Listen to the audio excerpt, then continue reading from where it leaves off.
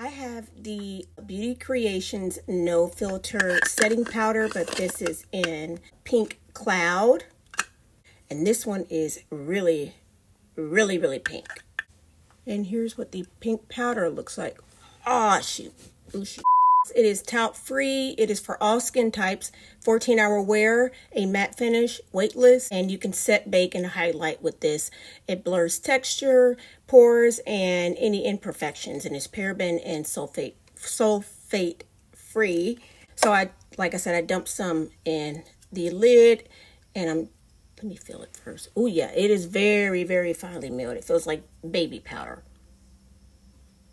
Oh shoot. Ooh, and it's pink, pink, pink, pink. Okay. Let me just put some here. Oh, wait.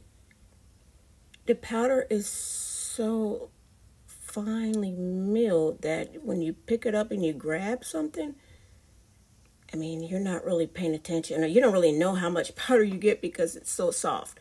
I just kind of want to bake and let this sit here for a minute just to see what this powder looks like because this is the darkest, I think the darkest setting pink powder that I have.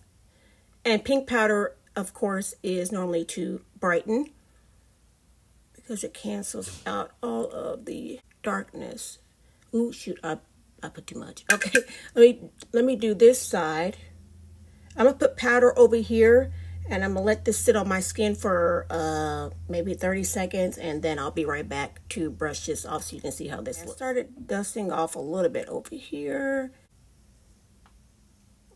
Hmm. Ooh. Might have baked a little bit too long. I'll fix this and then I'll come back.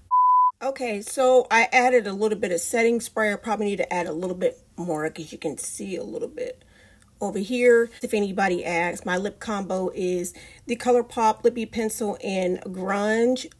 Outlined my lips with the Fenty Beauty uh, Ruby Milk uh, lipstick. So, yeah. I'm back and let everything settle. What do you guys think? Comment below if this is a yay or a nay.